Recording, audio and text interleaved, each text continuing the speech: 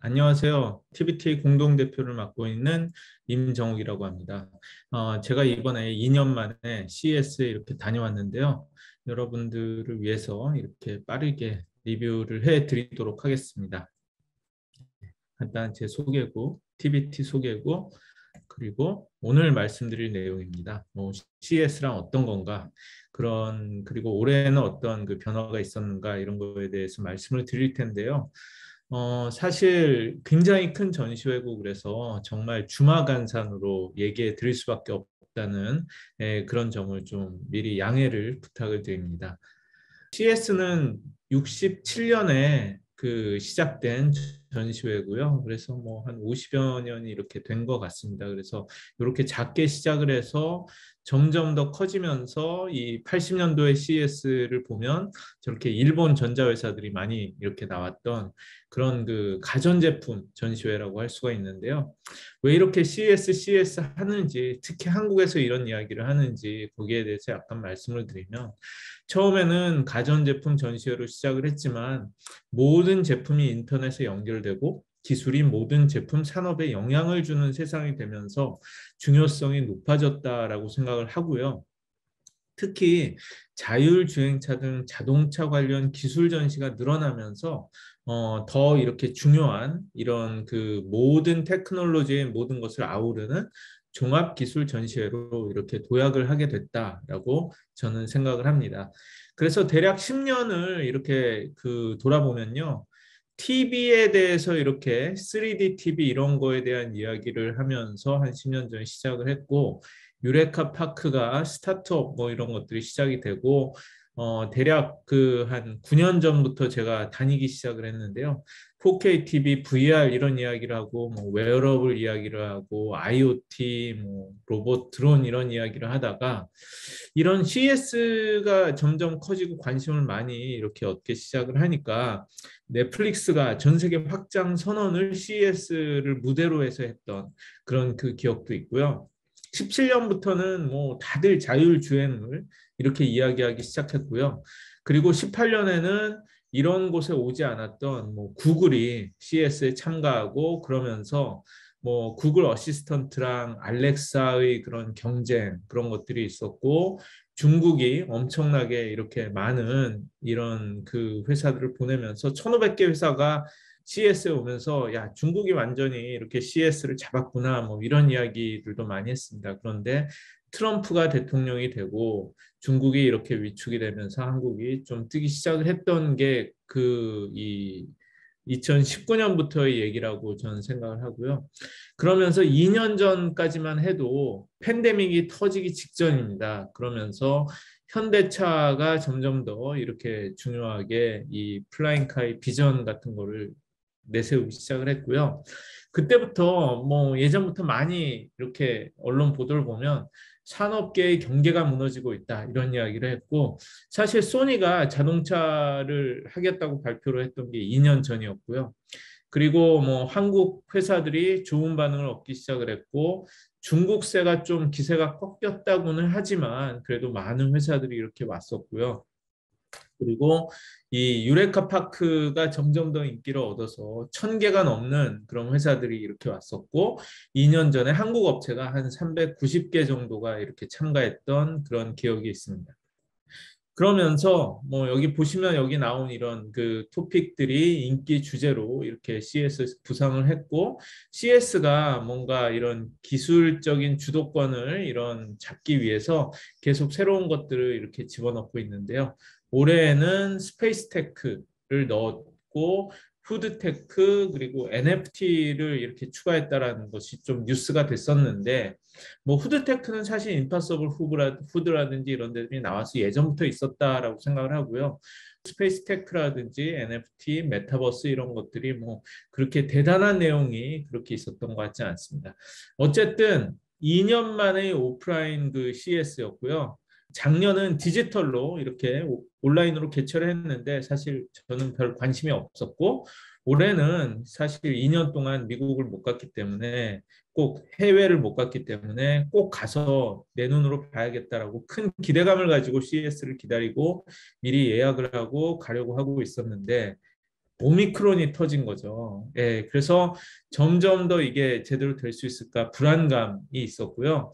그러다가 이 오미크론 확진이 12월에 계속 늘어나기 시작을 하고 거의 코로나 그 이 CES 때 급증을 하기 시작을 했던 것 같아요. 그래서 12월부터 이런 보도들이 나왔죠. 이게 크리스마스 이브 정도에 나온 건데 마이크로소프트, 구글, 페이스북, 아마존, 트위터 이게 그 미국 서부에 있는 실리콘밸리와 시애틀에 있는 빅테크들이 이 코로나19 확산을 이유로 CS 참가를 취소했다는 겁니다. 어, 취소한 것뿐만이 아니라 자기들의 직원들도 사실 가지 못, 못하게 했어요. 그래서 이게 상당한 CS에 타격이 됐고 CS 이거 취소 안 하고 계속 하는 거냐 이런 이야기들이 계속 나왔었고요. 어 그러다가 CS 측에서 행사 기간을 보통 4일로 하는데 이거를 하루 단축을 해서 수요일에 시작해서 토요일까지 하는 것을 금요일까지만 이렇게 하겠다라는 이야기를 했을 정도로 코로나의 이런 영향이 컸습니다. 그래서 저도 미국에 조금 일찍 가서 라스베가스에 가기 전에 사람들을 만나면서 계속 이거 취소되는 거 아닌가 취소는 안 되겠지만 괜찮을까라는 그런 불안감이 있었고요.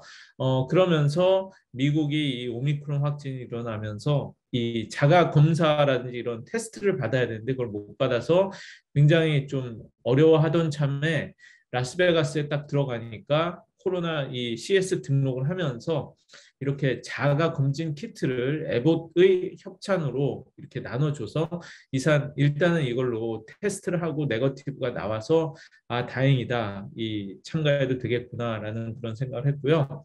어, 미국에서 마스크를 안 쓴다는 그런 이야기들이 많이 있었지만 적어도 CES에서는 모두 다 이 마스크를 잘 착용하고 이렇게 참관을 했던 것 같습니다.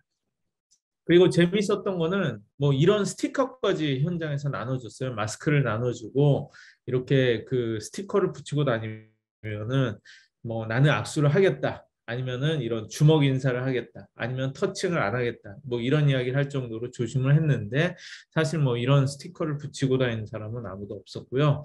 일단 CS가 이렇게 딱 시작이 돼서 입장을 했는데 첫 입장을 하자마자 LG관이 있습니다. 센트럴 홀에.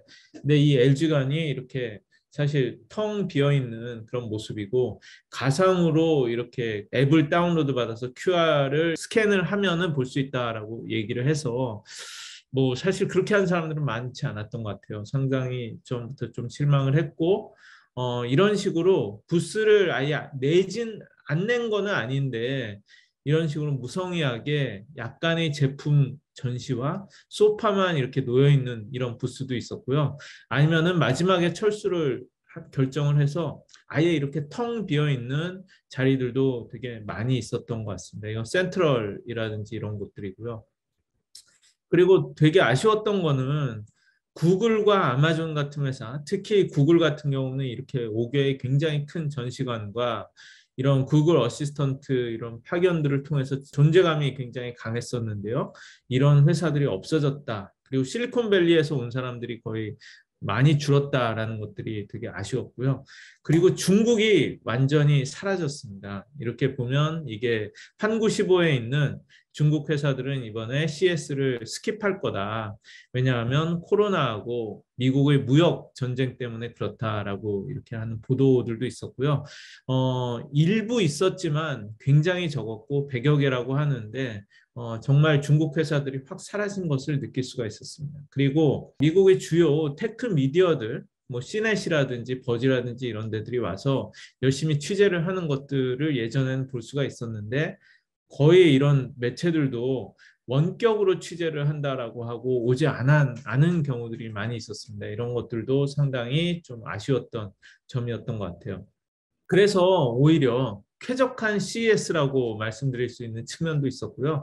이렇게 앉아서 이렇게 환담을 나눌 수 있는 장소들이 굉장히 휴게소 같은 것들이 많았고 빈 공간이 많고 택시 잡기도 쉽고 길도 안 막히고 그런 상황이었습니다. 2년 전과 비교하면은 어, 새로 CES의 그런 그 라스베가스 전시장인 LVCC의 West가 개장을 해서 굉장히 멋진 전시장이 늘었다라는 것이 좀 저에게는 신기했고요. 또 일론 머스크의 Boring Company가 그 라스베가스에 지금 만들고 있는 Vegas Loop라는 게 있습니다. 이게 뭐냐면 라스베가스에 마치 지하철처럼 이런 터널을 뚫어서 테슬라를 이렇게 돌리면서 교통 문제를 해결하는 거라고 했는데 이거를 그 라스베가스 컨벤션 센터에 한 그 2km 구간 정도를 연결을 해놨습니다. 그래서 원래는 이거 유료로 하는데 이 기간 동안 무료로 운영을 해가지고 어 이것을 내려가서 이렇게 타보기도 했었는데요. 사람이 없어서 그런지 거의 기다리지 않고 이걸 이용할 수가 있었습니다. 뭐 이런 분위기였었는데요. 자율주행은 아니고 사람이 이렇게 운전하는 거였는데 어쨌든 뭐 좀 신기한 경험이긴 했습니다. 어쨌든 이런 분위기였다는 걸 말씀을 드리고요. 이제부터 본격적으로 어떤 것들이 전시가 됐는지를 좀 소개를 드리면은 산업의 경계가 무너진다라는 얘기는 여전히 나오고 있었고 저는 그 자동차 회사가 전자회사의 영역으로 들어가고 전자회사가 자동차 회사의 영역으로 들어가고 그리고 거기에 자율주행 기능 그리고 robotics가 융합되고 있는 그런 그 트렌드를 본 게 가장 큰 이번 CES의 변화가 아니었나라는 생각을 했고요. 그래서 소니가 아예 소니 모빌리티라는 자회사를 만들면서 이 자동차 산업, 자동차 업계, 전기차를 이 제품으로 내놓겠다라고 선언을 한게 가장 좀 주목을 받는 어, 그런 이슈였다라고 생각을 하고요. 그래서 여기 오른쪽에 보이는 세단은 어, 2년 전에 사실 발표했던 차였고요. 왼쪽에 SUV를 이렇게 선보이면서 갔는데 소니는 엔터테인먼트 회사로서 자기들이 이런 새로운 전기차 경험을 제공을 하겠다. 사람들한테 친화적인 이런 제품을 만들겠다라는 것을 굉장히 강조를 했던 것 같아요. 그리고 현대차의 경우가 저는 굉장히 인상적이었었는데요. 현대차는 이번에 새로운 자동차를 내놓지는 않았습니다. 그것보다는 이런 그 모듈형 모빌리티 모듈이라는 MobED라는 이런 로봇을 발표를 했고요. 이것을 여러 가지 모빌리티 현장에 이렇게 집어넣어서 서비스를 할 수 있도록 하겠다라는 것을 보여줬어요.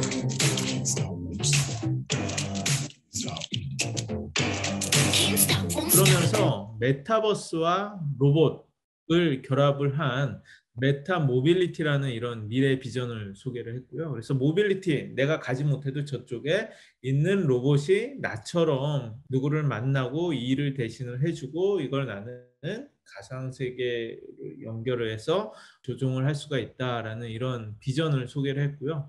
어, 저는 일반적인 자동차 회사의 이런 발표를 뛰어넘는 이런 멋진 비전을 제시를 했다라는 생각을 했습니다. 그리고 또 BMW의 경우에는 어, 이번 CS 많이 주목을 받은 게 차량 색깔을 이렇게 바꿔주는 이 잉크 기술로 많이 보도가 됐던 것 같아요. 이렇게 차량 외장에 이 잉크를 붙여서 이렇게 바뀌도록 이렇게 만든. 것이고요. 아직 상용화는 안 됐지만 이런 것들이 될 거라는 것을 보여주는 것 같고 그리고 굉장히 강조를 했던 게 이런 차량 내부의 시어터 스크린, 차내 엔터테인먼트 시스템을 선보였고요.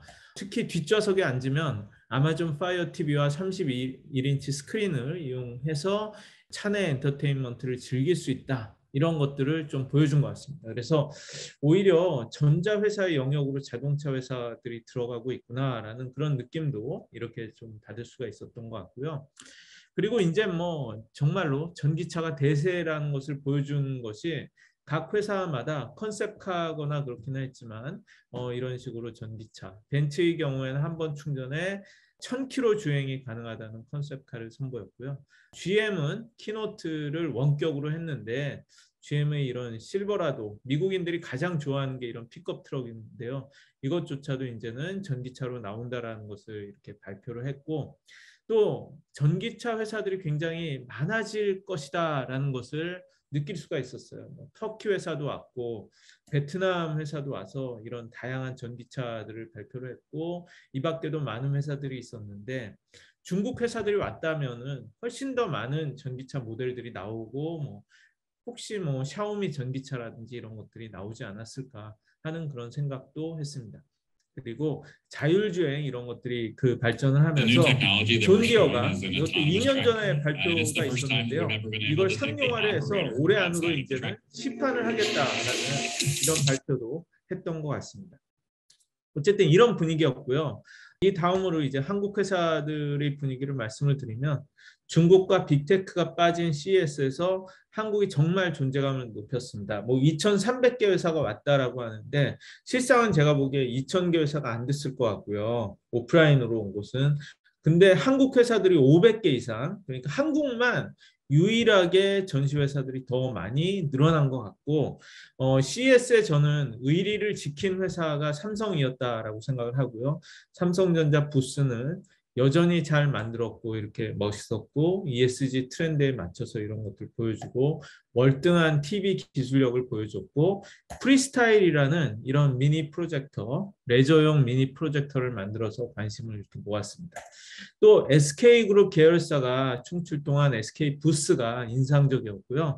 SK그룹의 기술을 이렇게 보여주는 것 외에 넷째로 전시관 이 좀 관심을 이렇게 좀 모으고 뭔가 들어가서 보면 되게 환상적인 이런 분위기를 보여주는 것으로 좀 인기가 있었던 것 같습니다. 현대차의 이런 전시장에는 자동차가 없었어요. 예, 자동차가 없었고 대신 로봇들이 이렇게 있으면서 주인공 역할을 했던 것 같고 현대 모비스의 전시관도 있었고 부산 같은 경우는 자율주행 건설 장비 밥캣이라든지 로봇 기술을 협동 로봇 이런 것들을 선보인 것 같고요. 롯데도 이번에는 참가를 해서 그 가상 이커머스 체험을 이렇게 제공하는 이런 것들을 선보였고요. 어, 계속 나오고 있는 뭐 바디 프렌드라든지 코웨이, 코웨이는 BTS를 이렇게 모델로 쓴 것 같고요. 어, 한컴 그룹 이런 것들이 많이 어, 나왔습니다. 그런데 어쨌든 제일 관심을 모으고 예전 못지않게 계속 이렇게 훌륭하게 많은 회사들이 왔다라고 하는 것은 유레카였고 활력도 있었고 이런 회사들도 많고 사람들도 여전히 많았다라고 생각을 하고요. 원래 유레카 파크의 주인공은 프랑스였어요. 라프렌치텍이라고 이렇게 했고 항상 프랑스가 이런 식으로 유레카 파크에 우리 프랑스가 제일 많다라고 이렇게 강조를 하고 그랬었고 어, 예전에 마크롱 대통령이 경제장관 시절에 직접 와가지고 이렇게 챙길 정도로 관심이 이렇게 많았었는데요. 올해는 한국세가 유레카 파크를 압도했던 것 같습니다. 예, 이런 식으로 뭐 휘장도 만들고 그랬었는데 그래서 제가 이게 유레카 파크의 맵인데요. 여기에 보면 한국 회사들이 한국이 얼마나 많았나를 한번 제가 이렇게 표시를 해봤는데 어, 이게 한국관이고요. 이 빨갛게 표시한 한국관 외에도 보면 곳곳에 그 한국 회사들이 많이 이렇게 숨어 있었을 정도니까 정말로 3분의 1 정도가 한국이었다. 라고 할 수가 있고 굉장히 많은 이런 뭐 서울시, 성남시, 코트라 뭐 이런 그 많은 주체들이 지원을 하면서 많은 한국 회사들이 이렇게 왔었고 어 저는 흥미롭게 본 게 대학들끼리도 경쟁을 하나 하는 생각이 들 정도로 뭐 서울대학교라든지 KAIST관, 고려대학교, 한서대학교, KIST 이런 곳들이 이렇게 많이 왔었고요. 흥미로운 이런 회사들도 굉장히 많이 있었습니다. 뭐 KAIST 아바타 팀은 이렇게 그 생쥐 그 실험쥐를 놓고 관찰을 하는 것 자체를 디지털 트윈을 이용을 해서 자동화를 하는 그런 그 기술을 선보여서 어, 흥미로웠고요. 또 이 맨 끝에 있어서 서울관이 관심을 모으기가 좀 어렵지 않느냐라는 이런 이야기를 했었는데 서울관에 어, 굉장히 많은 좀 관심이 좀 모아지고 관객들도 이렇게 참관객들도 많아서 서울관이 성공을 했다라는 그런 이야기를 하고요. 어, 브리즘 박 대표님도 이렇게 뵙고 뭐 알고케어라든지 많은 회사들이 언론에도 많이 이렇게 좀 조명이 되었던 것 같습니다. 어, 여기도 2년 전에 이렇게 참가를 했었고 더 잘 하고 있는 거고요. 삼성 C-Lab 부스가 저는 항상 예전에도 그랬고 지금도 좋은 팀들이 많았다라는 생각을 하고요. 삼성이 직접 이렇게 데리고 온 사내 벤처들하고 그리고 삼성이 지원을 하는 삼성 Outside라는 그 외부 스타트업들이 같이 참가를 하고 있는데 좋은 팀들이 많아서 이렇게 흥미롭게 이렇게 봤었고 어쨌든 한국 회사들과 한국 참관객들이 너무 많아서 이런 이야기들이 많이 들렸습니다. 제가 미국에 있는 건지 코엑스에 있는 건지 잘 모를 정도로 한국 사람들이 많이 있었다라는 그런 그 이야기였었고요. 어쨌든 다른 나라 스타트업들도 되게 많았어요. 제가 처음으로 본 것 같은데 미국 정부도 이런 스타트업 지원 프로그램을 만들어서 이렇게 좀 지원을 하는 모습을 봤고요. 어, 영국 회사들도 좀 이렇게 해서 왔었는데 사실 이번 CSA 얼굴 역할을 하는 가장 많은 관심을 모은 것은 영국의 스타트업이 가지고 나온 휴머노이드 아미카라는 그런 회사였습니다. What's your name? 뭐랄까 이런 얼굴 표정이 상당히 이렇게 리얼해서 관심을 많이 모았던 것 같고요. 어, 일본도 만만치 않게 52개 팀이나 이렇게 나왔고 이런 식으로 제이 스타트업이라고 해서 스카이 드라이브라든지 이런 또 일본적인 뭐 망가를 기반으로 한 많은 그런 회사들이 이렇게 좀 나왔습니다. 그리고 대만이 한 100개 팀이 왔다라고 했는데 뭔가 좀 빈 곳도 많았고 별로 그렇게 잘 전시를 한 것 같지는 않고요. 어, 네덜란드 같은 경우도 70팀이 왔다라고 해서 뭐 대만, 네덜란드 다 작은 나라인데 되게 많이 왔었고 뭐 스위스 그리고 전통의 스타트업 강국 이스라엘 항상 이렇게 왔었고 의외로 이스라엘도 아니 이탈리아도 44팀 이나 이렇게 왔다라고 하는데 좀 빈 곳이 많이 보이는 그런 느낌이 있었고요. 어쨌든 각 나라별로 자기들의 강점 이 와인 산업이라든지 이런 거 살리는 팀들이 있었던 것들이 좀 기억에 남고요. 역시 유니크한 팀들이 많고 활발했던 것은 프랑스 스타트업이라고 생각을 하고요. 어, 프랑스가 뭐 좀 일체된 그런 것들로 좀 홍보도 잘하고 유니크한 어, 스타트업들이 좀 많이 보였다라는 그런 생각을 합니다. 벨기에 스타트업들도 좀 이렇게 있었고요. 어, 이 라비타라는 스타트업은 뭐 뮤지션 출신의 창업자라고 하는데 어떻게 하는지 모르겠는데 뭔가 이런 그 전시 쇼 윈도우 같은 건데 공중에 붕 떠 있는 것 같은 어, 이런 효과를 만들어내는 그런 제품을 해서 좀 신기했고요. 재미있는 것은 이렇게 유레카에서 경험을 쌓은 스타트업들이 계속해서 CES에 출전을 하면서 다른 뭐 Central이라든지 이런 다른 관에 어, North라든지 이런 다른 관에 더 큰 부스들을 멋지게 꾸민 케이스들이 많아서 그렇게 흥미로웠고요.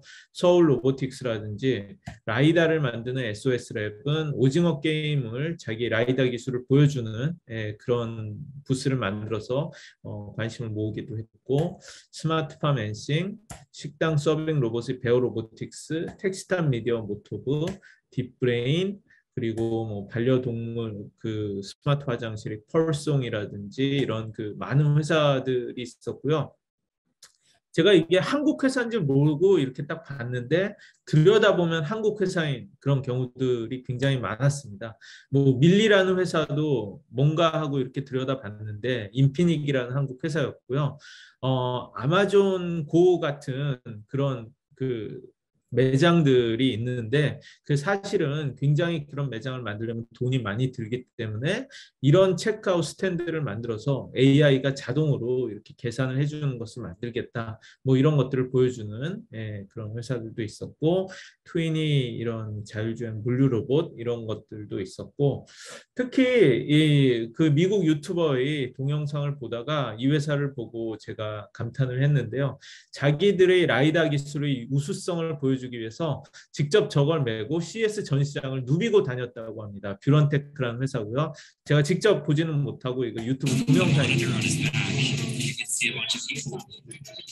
And it has like a lidar sensor. And he's wearing a backpack, wandering around. Is that heavy? Uh, so, 정말 열심히 하는구나라는 그런 생각을 했고요. 어쨌든 한국 기업이 너무 많아서 봐도 봐도 끝이 없고 저는 지금 일부분만 이렇게 어, 전달해 드린다라고 말씀을 드릴 수가 있고요.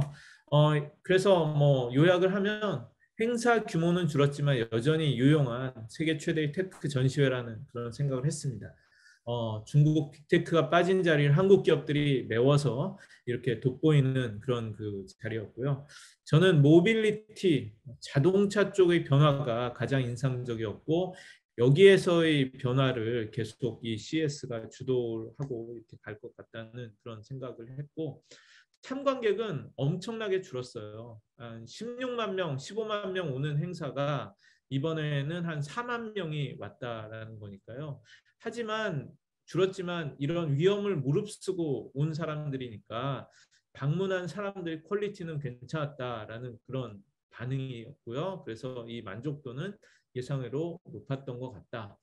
다만 폭증하는 오미크론 확산세로 이 돌아온 사람들 중에서 많은 확진자가 발생한 것은 뭐 어쩔 수가 없었던 것 같고요.